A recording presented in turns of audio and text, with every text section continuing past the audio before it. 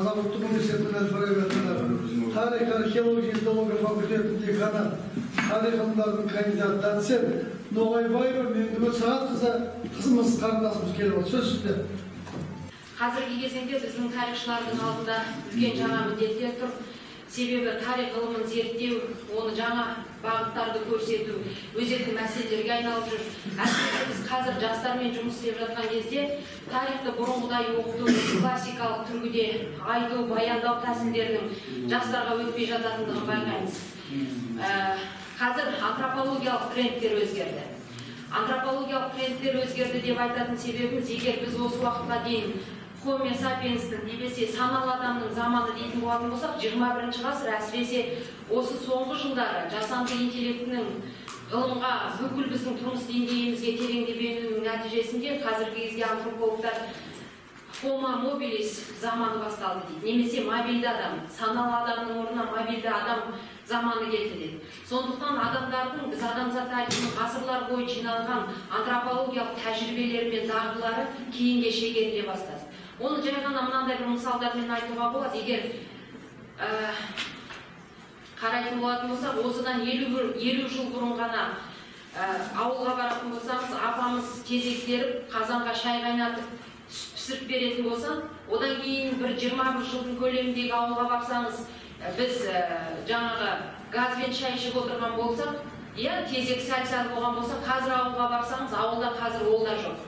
Яғни бұрынғы біздің жаңағы антропология біздің адамзаттың ғасырлар бойы шаруашылық қалыптасқан біздің дағдыларымыз соған байланысты құндылықтарымыз қазір жойылып бара жатқан сияқты.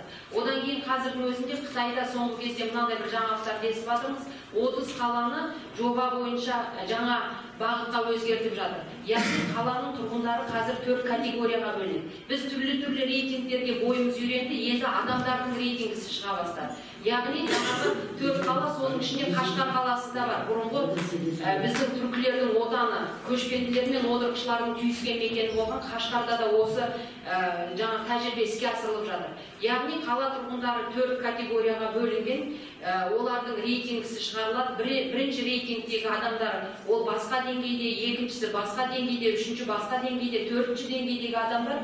Мүмкін тіпті осы қоғамда өмір сүруге құқы жоқ адамдардың қатарында. Себебі рейтинг қалай анықталады дейтін болсаңыз жасанды шекпен адамдарды бөліп қойған сіздің әрбір жасаған ә, қадамыңыз мысалы көшеден өтіп бара жатып бір қарт адамды көшеден өткізуге көмектесіп жібердіңіз сіздің рейтингіңізге плюс бес балл қосылды. Сіз көшеде кетіп бара жатып бір бұралқы итті көрдіңіз бүйіріне бір теуіп кеттіңіз сіздің рейтингіңізден бес балл алынды деген сияқты. Осындай нәрселер бұл біздің қазір бізден сәл алыстау болғанмен бірақ әлемнің дамуы осындай болып тұрғандықтан бұлар да бізге болашақта келуі мүмкін. Осындай адами жаңа антропологиялық сипат өзгеріп жатқанда біз адамдар кімбіз? Біздің өмірдегі миссиямыз қандай? Біздің тағдырымыз қандай? Біздің тағдырымыздың жазуы қандай? Біз ары қарай қалай өмір сүреміз қандай құндылықтарды насихаттаймыз деген мәселе осы мынау философтармен дінтанушылармен мәдениеттанушылармен қатар қоғамтану ғылымының негізгі өзегі ретінде тарихшылардың да алдында тұрған басты міндеттер осындай кезеңде біз бұл сұрақтардың жауабын әрине өзіміздің өткен дәуірдегі мұраларымыздан алады екенбіз. Соның ішінде өзімнің осы ғылыми жобамның тақырыбы ретінде мына түркі мифологиясындағы рухани универсалдардың қазіргі қазіргі қоғамдағы ә, жаңа пайдаланылуы қазіргі қоғамда қоғамға тигізетін әсері тұрғысынан зерттеу жүргізіп жатқандықтан осыған қатысты қысқаша тезистермен бөліскім келіп тұр.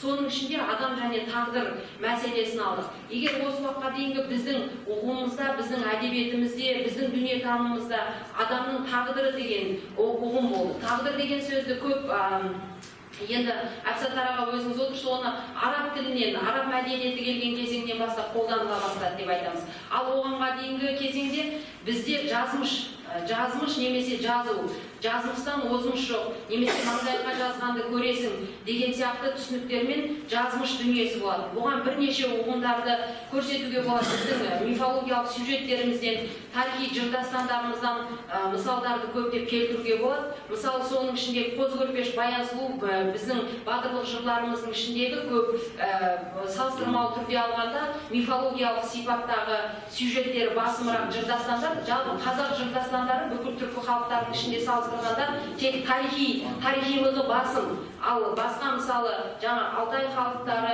тіпті татарлардың ноғайлар фольклорында кішкене мифологиялық сюжеттер басым. Сондықтан солармен салыстырмалы түрде айту керек. Енді уақыттарыңызды түсінікті ғой уақыттарыңызды сондықтан қазіргі кезеңде біз бұрынғы ұғым бойынша тәңірдің қазіргі исламдық дүниетаным бойынша алланың адамның маңдайына жазған жазу тағдыры жазғаныңды көрмей өтпейсің. Бірақ адам өзінің өмірімен іс әрекетімен жаңағы жақсылыққа ұмтылуымен білімімен тәрбиесімен осы тағдырды өзгертуге қандай да бір жағдайда белгілі бір себепте ықпал ете алады деген де ұғым бар екен. Сондықтан бүгінгі конференция біздің ә, менің пікірімше бұл ұстаздарға арналған ұстаздарға ғалымдарға ә, солардың рухына тағзым етуге арналған конференциялардың бірі. Сондықтан біз осындай кезеңде біздің өзіміздің бүгінгі конференцияның тағы тақ- тақырыбының тағы бір бөлігі осы ғалымдардың тағдырына әсер еткен сол ғалымдардың біздің тағдырымызға әсер еткен кейбір сәттерін біз айтуымыз керек. Жаңа конференция бастала салған кезде әбсаттар ағам айтты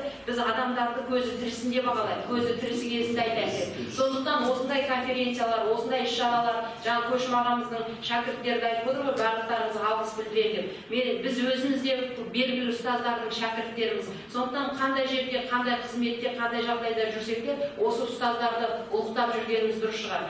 Мен осы көшім лекерұлын өзім кездестіргенмін. Ол кісінің шапағатын тиген бір ғана сәтін айтқым келеді.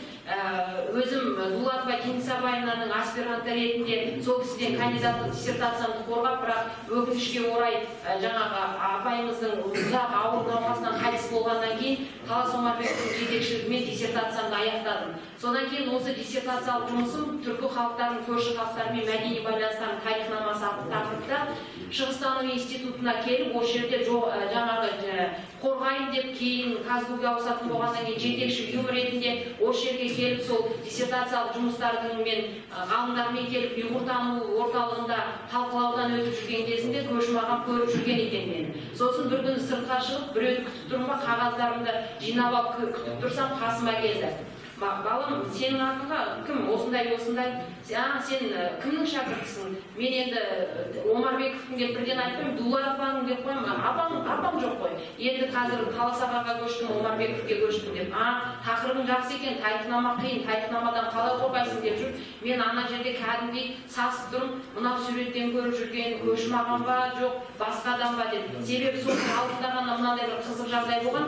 Жаңағы талас омарбеков бірінші рецен оппонентің ретінде көмековті аласың деп айтпаймын ма маған? Сосын мен шошып кетемін талас ағаға айтамын. Талас аға ол кісі тірі ма? деймін ғой. Сосын ол кісі қатты ашуланып ұрсып мынау ақымақ тірі ма? деген не сөз деп сонда менің пікірімше ондай ұлы адамдар ол тірі болуы мүмкін емес сол сондай ғана оймен ғой бұл көмеков деген бір аспанда жүрген адам сияқты дәл сол сияқты жаңағы көне қазақстанды көргендермен «А- о чем писали о на западе? деген кітабын анау студент кезімізде жаппай тұрмай оқыған ғалым ағамыз ғой. Сондықтан тағы да сасып тұрмын. Құдайым мен мынау кандидатты қорғаймын деп не болды? Өңкей аңыз адамның бәрі жерге түсті ма деген сияқты сондай ұғымдамын. Сосын байқады ғой деймін ол кісі жарайды сен қазір казгу жаққа қайтасың ба деп сөйтті. Жұмысың бітті ма? Иә қайтамын деп едім. Онда жүр бірге қайтайық деп екеуміз аяңдап бірге шығып тоғызыншы троллейбусқа отырып казгуге дейін бірге бардық. Троллейбуста ешкім жоқ әңгімесін айтып тақырыбымды сұрап қайта қайта сұрақ қойып қойып мен тура защитаның уақыты келгенде ол кісіге тықылдап синдром отличницамен жауап беріп жатырмын. Сосын әбден түсіп екеуміз ана остановкадан казгудың алдына түскен кезде айтып едім. Сен неңді алып кел авторефератыңды міндетті түрде алып кел жақсы екен тықылдап тұр екенсің таласқа да дулатоваға да лайықты шәкірт екенсің деп күліп қояды. Рефератыңды алып кел маған авторефератыңды сосын көрейін деген сосын жақсы деп келісіп авторефератымды үйге апарып беріп сосын кандидаттығымды қорғайтын кезде жаңағы көшім ағадан ә, рецензия алып едім кейін тағы да тағдыр деп соның бәрін айтуға болатын шығар сол анау диссертациямды вахта бекітілетін кезде осы көшім ағамның шәкірті ғой ташкентханова апайымыз ол кісі де мықты принципиалды адамдардың бірі ғой сол шақыртты мені баққа соны барған кезде осы ә, сұрағы сен ә, жаңа араб тілін білмейсің парсы тілін білмейсің мынау жаңағы тарихнамалық еңбекті қалай жаздың деп. Сол кездегі айтып құтылып кеткен екі ағамның фамилиясы бір ақ ауыз сонау астанаға мың километр жүріп барғандағы айтқан әңгімем мен бірінші оппонентімді қараңыз көмеков академик сосын маған рецензия берген адамдардың ішін қараңыз. Есмағамбетовтен солардың жағымды пікірлері тұр. Енді мен олардан арқылы сізге жауап бере алмаймын деп айтып едім. Сосын үндеген жоқ риза болды ау деймін шығарды сол нем? Жаңағы былайша айтқанда қазір ойлап тұрсам бұл бір наглый жауап қой орысша айтқанда. Сол соған қарамастан бірақ осы ағаларымыздың осындай ұстаздардың ғалымдардың беделі біздерге шәкірттерге біздің қадамымызды ашты. Сондықтан осы конференцияны ұйымдастырушыларға мен де шын көңілден алғысымды білдіремін. Тек қана конференцияның шеңберінде емес есмағамбет есмағамбетов көшім бекерұлы ағамызды ғана емес сонымен қатар дәл сондай жүрген осы ғылымдағы ағаларымыздың барлығын жан жақта дәріптеп дәріптеп жүрейік. Ол біздің ұлттығымыздың елдігіміздің ертеңіміздің жаңағы кепілі деп айтқым келеді рахмет сіздерге